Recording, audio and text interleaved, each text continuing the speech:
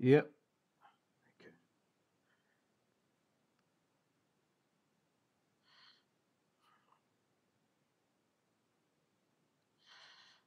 Alrighty, students, welcome to this lesson of our matrix unit on chapter 5e, not 11e. Apologies for that.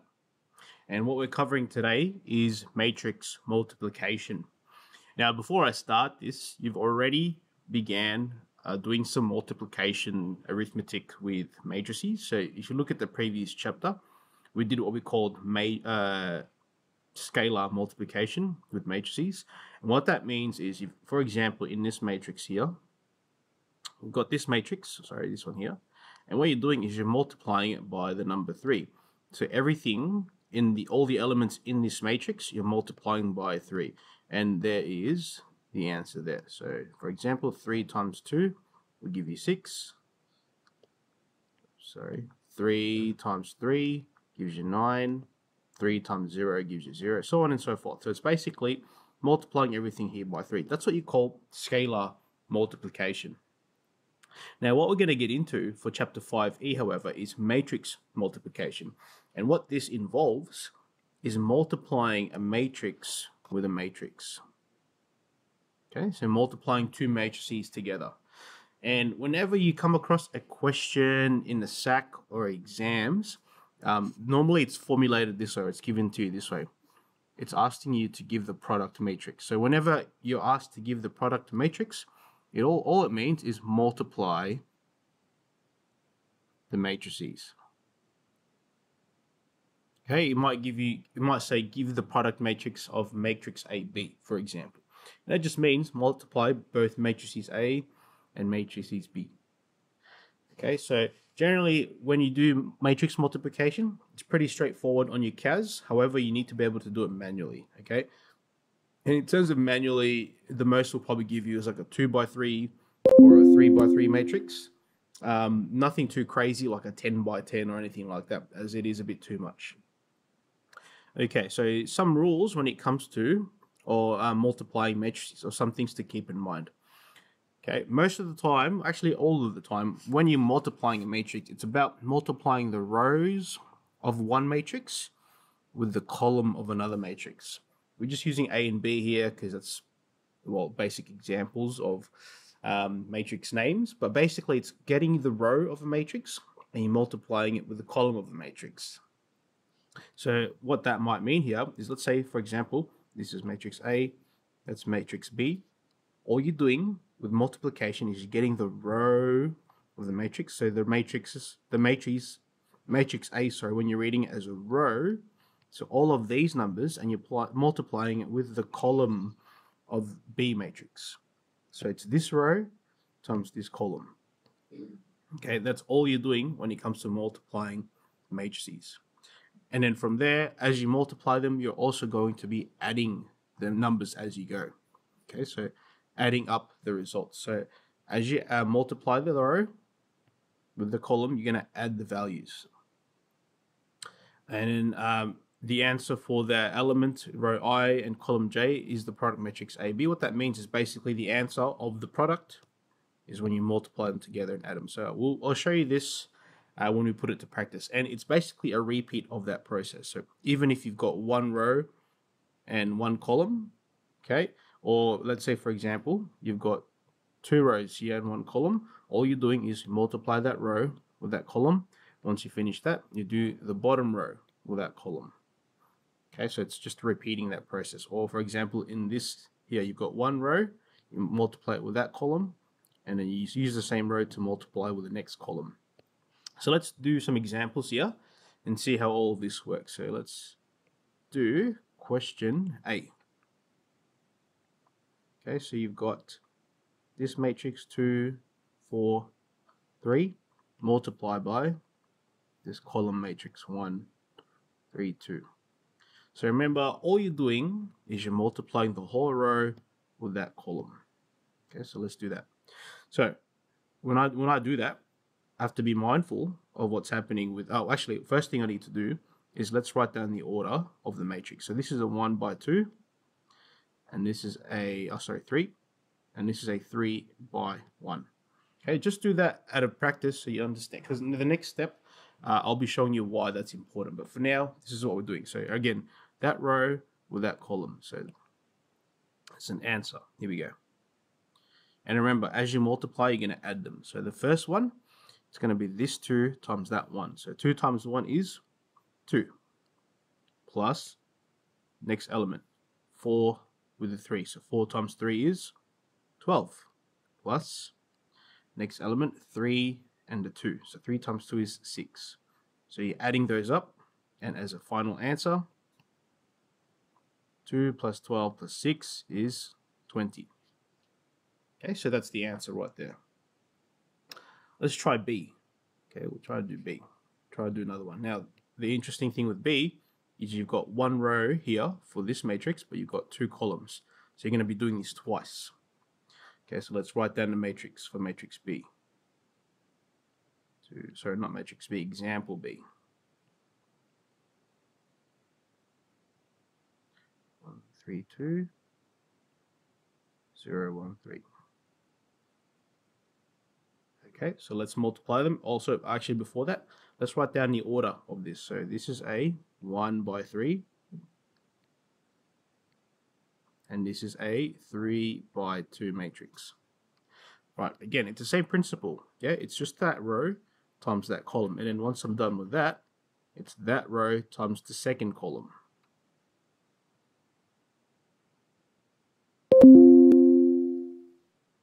Okay, let's put it in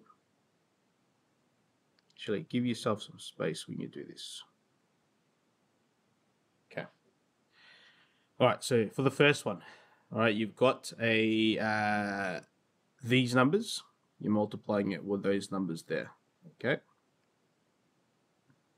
Give yourself more space. All right.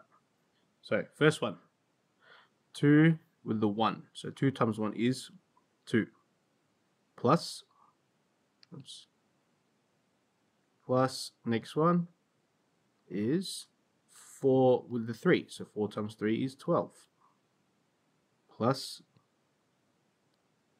uh, 3 and 2. So 3 times 2 is 6. So that's the first value there. Let me use another color.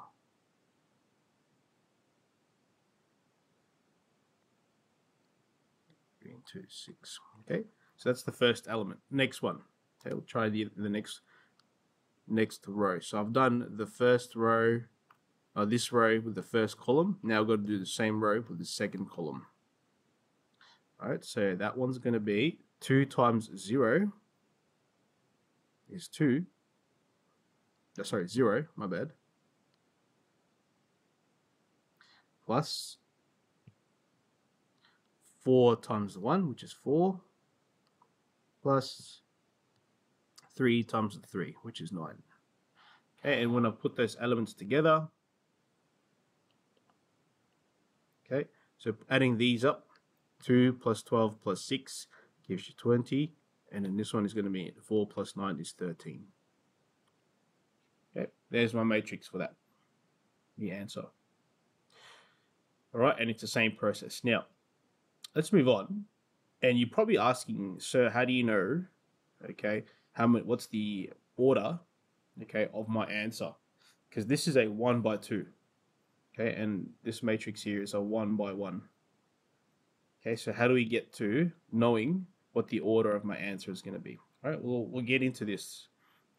So these are some rules um, that you can use for understanding how you get the order and whether or not you can multiply a matrix. So firstly, when you're multiplying a matrix, um, there is uh, one specific thing you got to be mindful of.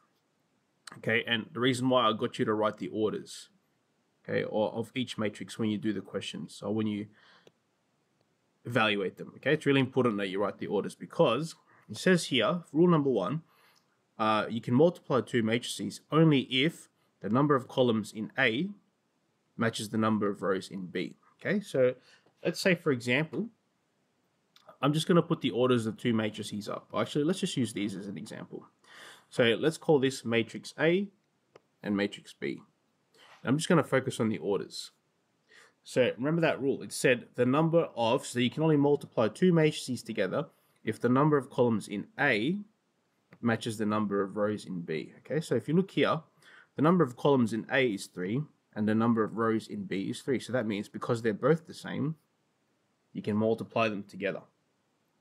Okay, so that's the first thing you got to know. With When it comes to multiplying matrices, always write down the orders of the matrices first, and then you can see if the middle numbers here, or the rows, uh, sorry, the columns in A match the rows in B, if they're the same, then you can multiply them. Okay, and that makes sense because if you think about it, okay, let's just go back to this example real quick. Show that rubbing out these. Remember, it's you're multiplying this row with this column, yeah? You got to make sure that you have enough numbers to multiply with one another. If, for example, okay, let's say this matrix A had an extra value, I'm just going to make it up, I don't know, like 4, 2, 1, okay? Now the order of this has changed. Now you've got four columns.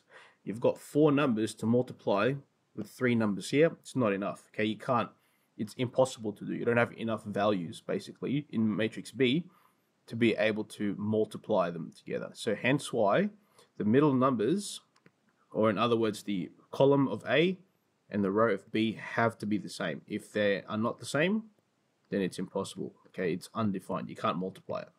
Okay, so let me go back, fix all that. But basically, that's one rule you got to remember when it comes to multiplying matrices. The rows, sorry, the column of A and the row of B have to be exactly the same. So that's one rule. The other rule as well and we'll get to this uh, reason why I got you to write this down, or the other reason why. Okay, is it, it states here, okay, that the order of the answer, so the order of the answer or the product matrix, is going to be the number of rows in A and the number of columns in B. So what the heck does that mean? Okay, so let's look at this. Let's go back to this. Let's call this matrix A and matrix B again. Okay, so let's say, for example, in matrix A, you've got an order of 1 by 3, and in matrix B, you've got an order of 3 by 2. So what that's, that rule is saying here, okay, so the number of rows in A, so the, the product, sorry, so the, the order for your product matrix, which is the answer, is equal to however many rows in A and however many columns in B. So if you look back at this, the number of rows in A and the number of columns in B, okay, which is 1 and 2, gives you the order of your answer. So this is a 1 by 2 matrix. And you can see in our answer, it's a 1 by 2 matrix. One row, two columns. Okay, so the outside numbers, you could say, and hence why it's important that you write down the order of both matrices, gives you the order of your answer. Because, and it also gives you uh, tells you whether or not you can multiply them. So remember, if the middle numbers are the same, you can multiply them. And the outside numbers will tell you the order of your answer. Okay, so let's put that to practice here. Oh, there's another example here. Okay, so let's say, for example, uh, let's use actual values. Yeah, so let's say my matrix is a 2 by 4. So that's one matrix. And the other matrix is a 4 by 5. Okay, so what this tells me is that because the and that's matrix A and that's matrix B. Okay. So what this tells me is that because the column of A and the row of B are the same, okay, you can multiply them together. And your answer, okay, after you multiply all the values, is going to be a 2 by 5 matrix of some sort. Okay, so two rows and five columns. Okay. Some other things that uh, you need to be mindful of when it comes to multiplying matrices. Can you multiply in any order? So what that's saying is if you have A times B, can you do B times A? Okay. Depends on the matrix. Okay. So if the product's matrix is um, can only be multiplied if A and B are both square matrices. So what that's saying is if matrix A was a 3 by 3 and matrix B was a uh, 3 by 3 as well, then you can multiply them uh, backwards. Because you can technically also do B times A, which is 3 by 3. And also A being a 3 by 3. Now, you can't multiply a matrix, for example, however, if it's like this. So let's say, for example, A was a 2 by 3 times B was a 3 by 2. Actually, this one is doable. Okay. But let's say, for example, 3 by 1. Okay. If I did A times B, okay, I could do it because the the middle numbers are the same, so it's it's doable. So the number of rows in A is the same as the number of columns in B. Uh, sorry, columns in A, same as rows in B. And the outside numbers gives you a 2 by 1. But if I did this the other way around, and I did B times A instead, so if B was a 3 by 1, and A was a 2 by 3, okay, see how this one you can do, but this one you can't. Okay, because look at the middle numbers. They don't match anymore. Okay, there's in B, the number of columns is 1, and in A, the number of rows is 2. So it doesn't match, you can't multiply them. Okay, so that means this is undefined, but this one, this, this AB is. Okay, so that's what that's saying here. Okay, can't always do, even though you can do A times B, you can't always do, well, I might leave that there actually. You can't do B times A, for example. Okay, all right, let's put some of those principles to practice. So for each of these matrices, state the product matrix or state whether the product matrix is defined. So what that's saying is, can you multiply them? So whether the product matrix is defined. I'll put that here. Can we Okay, so it's not a simple yes or no answer, although the answer is either defined or undefined. Um, that's all that's saying. Okay. And then if it is possible, state the order. So basically, if you can multiply the matrices, okay, what's the order of your answer? Okay, so state the order is the second part. All right. So firstly, what I like to do with these questions is I like to write down the order of both all, th all three matrices or however many matrices you're working with. So for the first one, that is a 1 by 2. One row, two columns. Yeah, let me fix that. 1 by 2. Matrix B is a 2 by 2. Two rows, two columns. Two rows, two columns. Matrix C is a 2 by 3. Two rows, three columns. Okay, so there's my order for each matrix. Alright, so for each of the following, state whether the product matrix is defined, and if so, state the order. So we don't have to actually multiply them. We just need to state whether we can multiply them and what the order of the answer is. So for A, it is A times B. So A B. So matrix A, you can see the order of matrix A is a 1 by 2. Okay, and the order of matrix B, you can see, is a 2 by 2 because we're doing A times B, yeah? Alright, so B is a 2 by 2. Now, remember the rules that we learned about before. You got to make sure that the number of columns in A equals the number of rows in B, and you can see that they do. So that means it is defined. You can multiply them. So when it, when it comes to this question, whether the product matrix is defined, if you can multiply them, you would say defined. Okay, and then what's the order of the answer? Okay, remember the order. Sorry. Remember the order is found by the outside numbers. So the number of rows in A and the number of columns in B. Okay, so what's the order there? It's going to be a 1 by 2 of some sort. So you should say the order of AB is 1 by 2. Okay, the order of matrix AB when I multiply them together is going to be a 1 by 2. Alright, let's do question B. So now it's B times A. Okay, so let's write down the orders of them. So matrix B is a 2 by 2. Matrix A is a 1 by 2. Okay, so again, remember the rules. You've got to make sure the number of columns in matrix, well, in this case, we're going to call this matrix B now, but in this matrix has to equal the number of rows in this matrix. Now, they don't equal, which means you can't multiply them together, so it's undefined. Okay, you can't multiply them. So that, in that case, there's no order for it. All right, let's try C. Okay, B times C. So B times C. Okay, so matrix B is a 2 by 2. Matrix C is a 2 by 3. Okay, so again, remember the rules that we came up with? Middle numbers, so the number of columns in this matrix has to equal the number of rows in this matrix. It's definitely the same. Two columns, two rows here, so it's defined. Okay, and then, oh, sorry, give me some space. Remember the, and now remember the outside numbers, so the number of rows in B and the number of columns in C gives you the order. So it's a 2 by 3 matrix of some sort. Okay, so then you would write the order of BC is equal to a 2 by 3 matrix of some sort. All right, and we won't do the last one, CB, but I think you guys get the gist. All right, let's finish up with this example, and that'll be that. So explain why AB and BA are defined, and then from there, calculate AB and BA.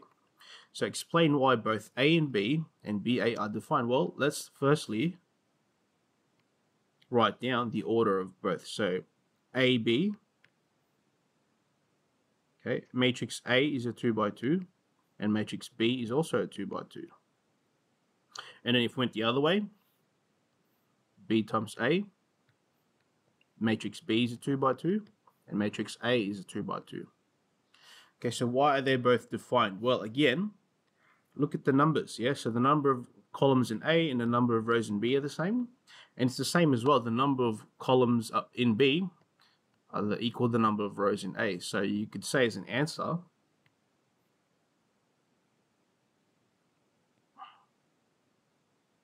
and columns A and B are the same.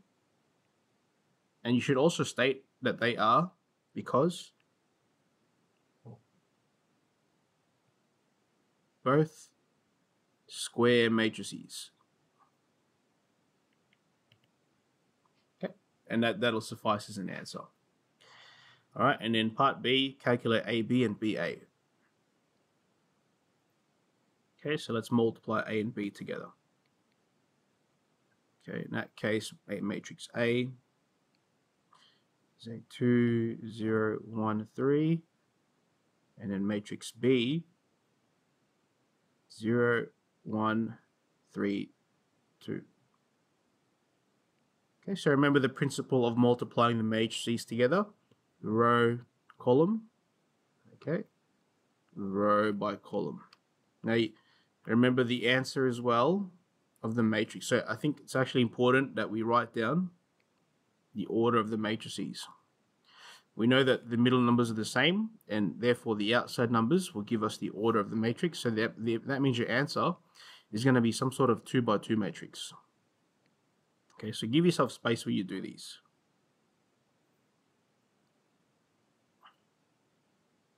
Okay, let's do this. So remember it's row by column.